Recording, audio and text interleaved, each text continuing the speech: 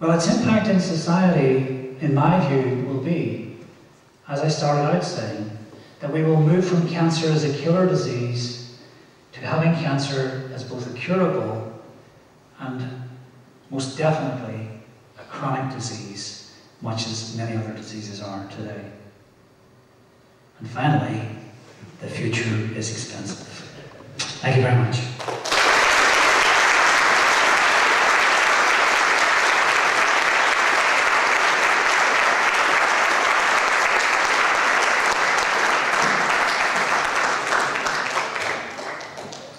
Thank you very much, Kelly. Um, Professor Johnston's agreed to take any questions, if everybody's brain doesn't hurt after that.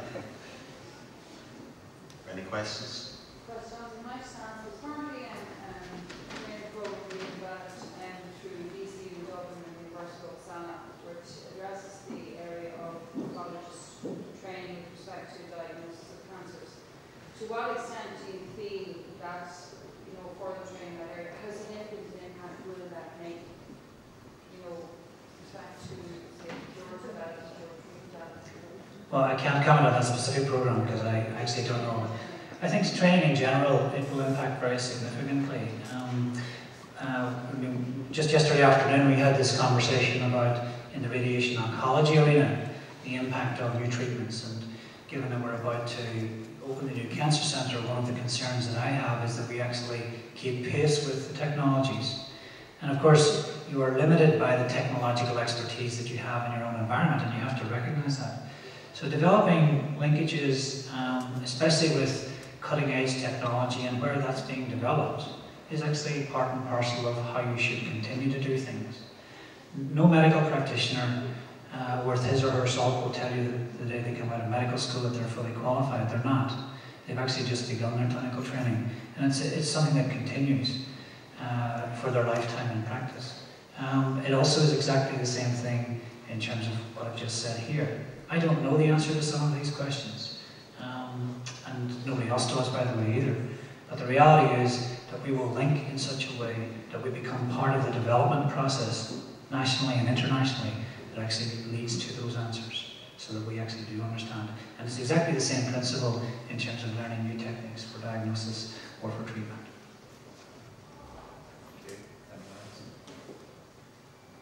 You've indicated the, the, the benefit of uh, genetic profiling uh, for treatment of uh, cancer patients. Uh, in Iceland, you're aware that uh, the population has an opt-out scheme where they opt out of a genetic profiling thing. Can you, you ever see a situation where that could happen there? Yes, I can. Uh, it, it'll be in a slightly different context because, as you know, uh, the population in Iceland actually has done a commercial deal through its government uh, with a major corporation in the US to actually facilitate um, the uh, genetic profiling of its population. I don't think we will ever do that here uh, as a population, and of course, on the island of Ireland, we're increasingly becoming um, more heterogeneous than homogeneous. What I do think we will be able to do, um, because of high throughput technologies, is actually begin to build into strong familial studies here in Ireland, uh, because of our family structures and it's still very integrated there, to actually allow us to define genes in a much more comprehensive way than we've ever done before. The other comment that I would make in relationship to that, which is a, it's a very, very important scientific paradigm, I suppose, internationally, is that we can't do this research in the um, ivory towers of universities on their own anymore, or indeed of medical institutions. It's too slow, can't keep pace, technology is too expensive. You have to link with industry to really do this in the manner that actually we need to. And of course, there are real issues there as well in terms of having a partnership correct. But yes, I do believe um, that there are diseases and cancers in which we will, and have already actually begun to, to play the similar role. Anyone else? Uh, I'm conscious that uh, a lot of these developments are going to depend upon people being there to actually do the research and to do the developing. And we're sitting here in this hall with a lot of young women and young men who, who have the, the possibility of becoming the researchers and the scientists of the future. And do we have enough scientists to do this work? The short answer to that is no, we don't. Um, and it's actually uh, one of the biggest challenges to our educational system, um, one that nobody has found the answer to yet. Um, I think we're still too traditional in our education of science, and we don't, um, in my view, make it exciting and applied enough. Um, and I think we should strive to do that. We should also open up opportunities for entities such as the Cancer Research Centre um, to actually be seen by people doing their A levels, such that they can begin to understand the impact of science on humanity. And it's when you see chemists, you know, beginning organic chemists beginning to work with somebody like me uh, on the development of a molecule, or a biologist, you know, who's working on, let's say, uh, the EGFR receptor, um, that you begin to understand how it's, it's not one brain anymore, it's 10, 20 brains and more and more.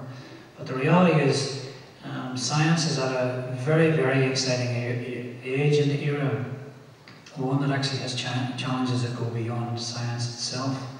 But it is people in this room that are going to make the impact and make the difference that I'm talking about, both scientifically, medically, and both.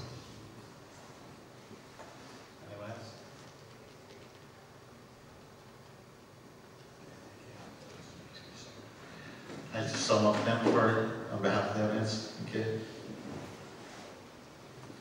First, uh, I would say it was a very thorough talk. It was fascinating. I was completely uh, involved in it, and I think my brain hurts a little at the end of it because there's so many different aspects to it. From the point of view of students, we've seen how the practical application of your knowledge here, you heard the words DNA, RNA, nucleotides, uh, mitosis and meiosis, much loved by A-level and GCSE students, and the practical applications of this and the relevance to real life, to medicine as it's practiced. Secondly, we've seen how uh, relevant this is to uh, the treatment of patients in the community. 20 years ago when I started in practice, cancer meant death. It was synonymous with death. If you told somebody they had a diagnosis of cancer, you had to make sure they were sitting down first.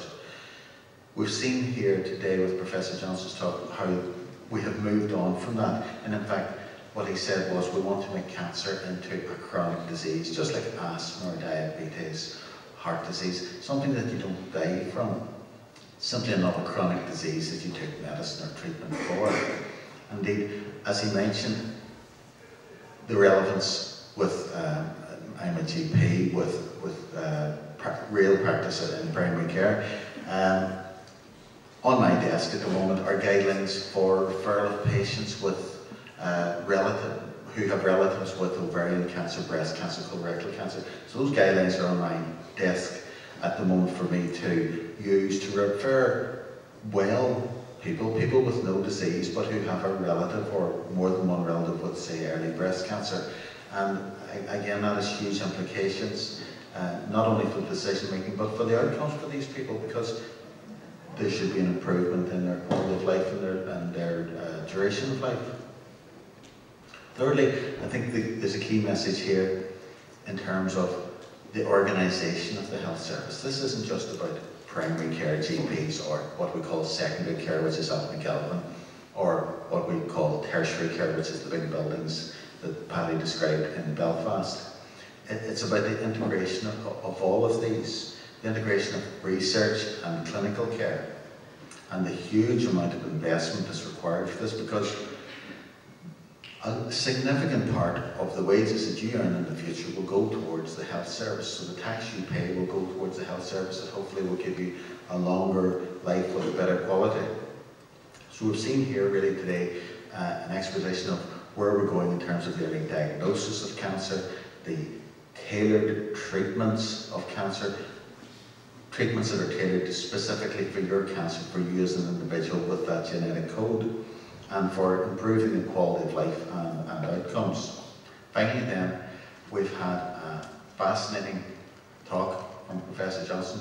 We've had really powerful insights into where we're going in terms of cancer research and treatment in the future.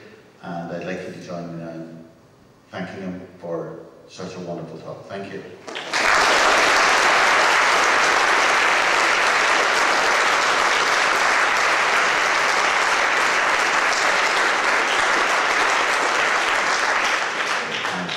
thanks to the audience for their very close and quiet attention. Thank you.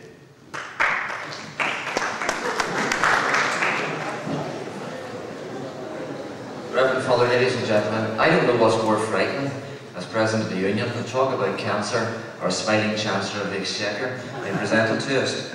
Because when I was a student here, I, I learned the words of Benjamin Franklin, that death and taxes cannot be avoided. I spent most of my adult life helping people to avoid tax, whereas Professor Johnston and, and Tom become more useful members of society and with helping people to improve the quality of life.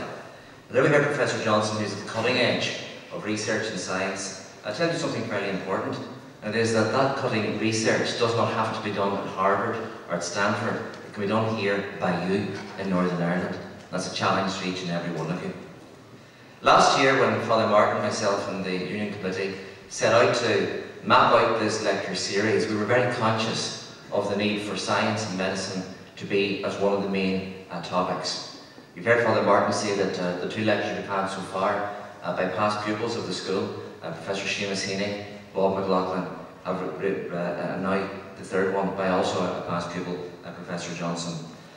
We in the Union are delighted uh, to have had such a series, and today I am absolutely delighted that the choice of medicine has been completely vindicated, because what we've had has been a splendid, informative and inspiring lecture by one of our most distinguished alumni, Professor Johnston. On behalf of the Union, thank you very much.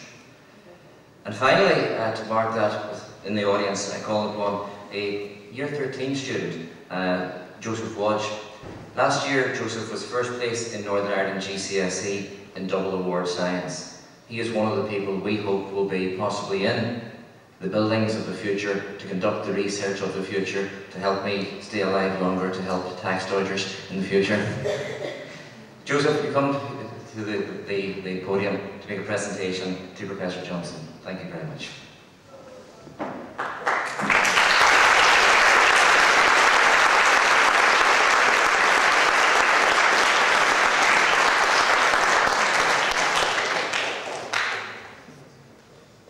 And finally, after all of that, you've been relieved to know there's a cup of tea inside. Thank you very much for your attendance.